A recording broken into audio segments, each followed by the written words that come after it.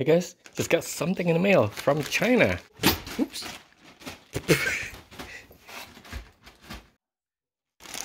well, it's a good thing it's not breakable.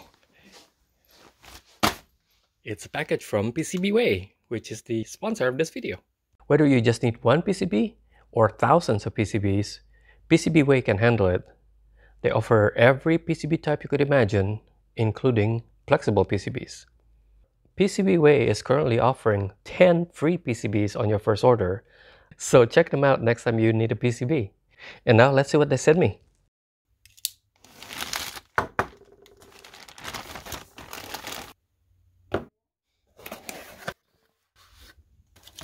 Oh, they gave me a pen. Thanks PCBWay.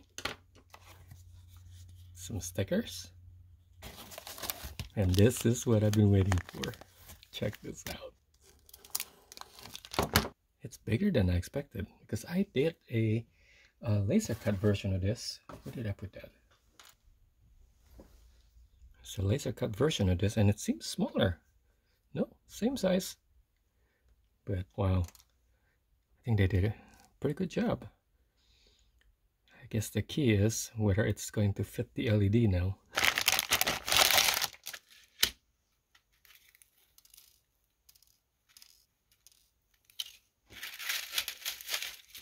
Okay, let's try this. It'd be a miracle if it works first time. So the thing that makes this unique is the fact that I'm putting the LED not on the surface like normally it would, but on the edge of the PCB. Hopefully it fits. Oh, it's too small. Just a tad too small. I mean, it kind of want to get in there, but it's not quite going in there. Let's see, try the other holes maybe. I don't, I think they they would be pretty consistent. That they're gonna be too small too. Yeah, it's just a tad bit too small. Probably like, I don't know, 0.1 or 0.2 millimeter too small. So, I guess I'm gonna have to file it or sand it or something, so let's try filing it. I'm just gonna file it this way probably.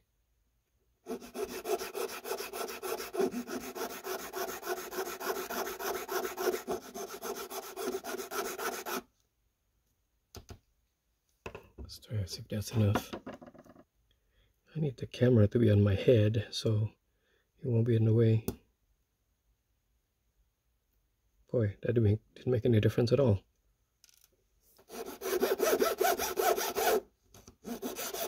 I'm moving left and right. I'm moving that way and then I move this way. So they're even, evenly made larger. It better be enough. I mean, it didn't look like there was that much that needs to be taken out, but it's just not coming in still. There it goes. Oh, it's still not all the way in. Yeah, I could force it.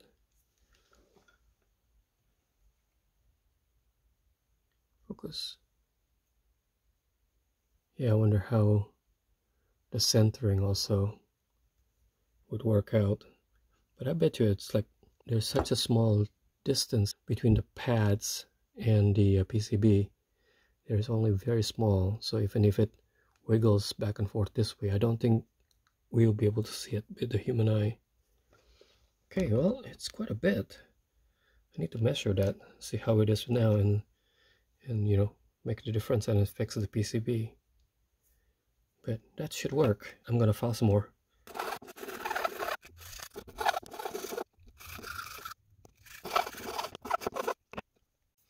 I guess I better pay attention to the orientation make sure it's pointing the right way I guess. So which way is way the thing with the labels that they put in there is top. This is the bottom. And I believe oh yeah that's backward because that triangle, that spin 3 needs to be on the bottom left. So I did that one wrong. Yeah, that's off center, but you could hardly tell because there's just that, not that much space. So if this is bottom left, so if I turn it upside down, the triangle should be on the right side. So like that.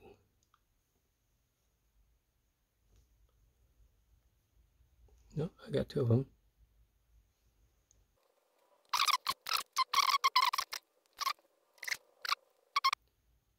Really cool if this doesn't require soldering, you just wedge it in there, but it can't because it's not far enough unless I use a thick PCB, but they're a lot more expensive. Okay, let's see how this goes. I'm just using a giant tip because I don't know if it really matters. Um, I'm trying to heat up the whole thing as fast as I can and then put some solder to jump the gap there. Okay, that's one.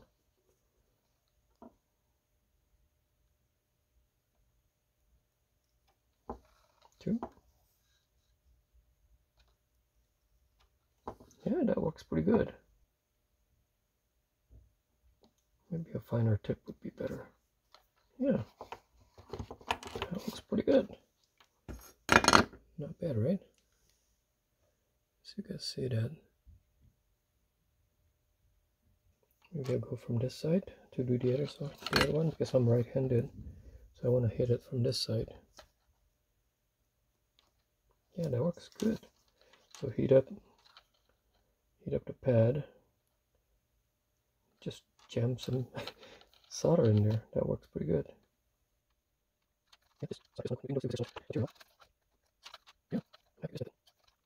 Yeah, that works good. Yeah, but it is key that the uh, LEDs stays while you try to solder them. Imagine if you have to hold the LED in place while you're trying to do this. The fact that the LED stays where they are is really helpful. Yeah, that's really easy. Just heat up the pads. And then to do the other side, I have to go this way because my iron is on the right side. But you can go in between the LEDs no problem. Yep, that went pretty good. Just heat it up, jam some solder. And I think that did it. See that solder pretty good in just a few seconds, maybe a minute. Not bad. Well, it's only a few of the LEDs in there, but I think it's going to turn out well. Thanks for watching this far, guys. There's so much more about this project that I'd like to tell you about. How I designed this PCB, the challenges that I had to overcome, and what's the final goal of this project. But I can't tell you everything because more content means more editing, and editing takes so much time. Um, if there's enough interest, I could start live streaming or maybe uploading unedited videos, spend less time editing and more time making the project.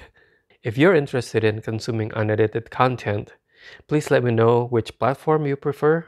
Uh, maybe it'll be a second YouTube channel. So this one will always be, you know, more concise, more focused. Maybe I should put it on Facebook. There's a HariFun Facebook page that I don't really update that much because yes, that means more content. So, uh, but maybe I could put that one to be less edited content than this YouTube channel. Or maybe I should uh, do short videos on Instagram or other things. So let me know. What does everybody use these days? At any rate, the first thing I will be working on will be fixing this gap on the PCB so I won't have to uh, file every single one of these gaps. And then uh, I need to work on the discs, these two discs, so we can put everything into a ball. So thanks again for watching. Thanks to PCBWay for sponsoring this video. I'll talk to you guys in part two.